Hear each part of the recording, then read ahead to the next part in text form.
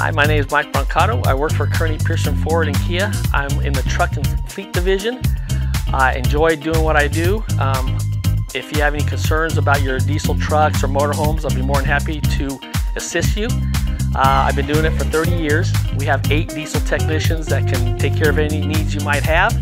And uh, I basically enjoy golfing on my time off. And if I can do anything for you, please give me a call. Thank you very much.